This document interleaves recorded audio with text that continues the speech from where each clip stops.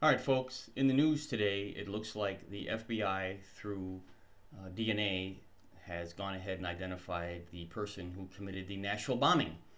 And his name is Anthony Quinn Warner, and he's a longtime Nashville resident. And he's 63, he was 63 years old, is a freelance computer technician for a local realty company. And uh, early this month, suddenly, after four years of working there, he went ahead and resigned, and then he transferred a couple of homes to a gal out in California. And property records list him as being unmarried, not being a registered voter, and doesn't show that he's ever voted in any election at all. So, all the right-wing conspiracy theory theorist people who thought that it was going to be Antifa or BLM for whatever reason, even though Trump lost, you wouldn't think that the left wing would be setting off bombs. But then again, who knows? And then all the theories that made a lot more sense to me would have been right wing uh, people who were upset about Trump losing, and then this was going to go ahead and be the opening salvo in terms of that. So we can expect more to come because you know like someone posted you know what do you expect when you suppress you know 70 some million votes and you know stealing votes and this and that so a lot of people were, were conflating this particular act um, with conspiratorial ideas that everybody has based on their own worldview and it looks like it was just a lonely guy you know, somewhat elderly, and he just decided to check out.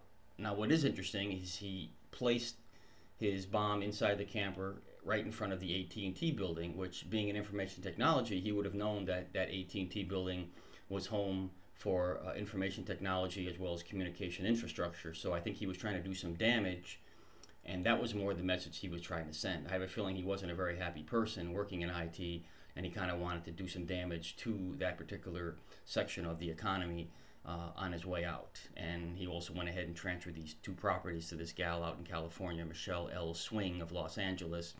Although she denies uh, knowing about the second transfer, but at least the first transfer, she doesn't seem to be denying that.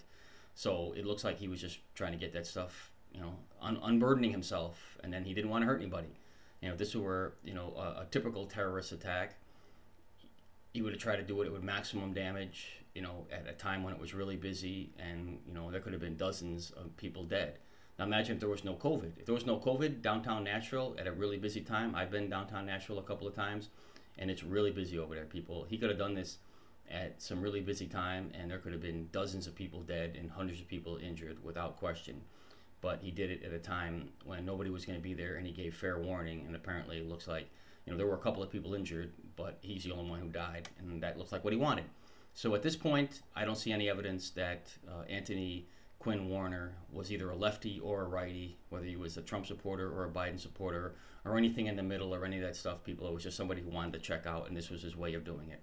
So uh, only time will tell. Now that the uh, now that they know who the person is, I'm sure the FBI and local authorities they're going to be invest. They're going to be they're going to be interviewing all his you know all his friends, family, co-workers, anything that he would have been doing. They had to go in and find if he had belonged to any clubs or anything like that. And they're going to go ahead and try to find out everything. And, and, and in the days and weeks to come, it'll be pieced together why this guy did what he did. But for now, it just seemed like he was a random guy who wanted to check out. Uh, peace out.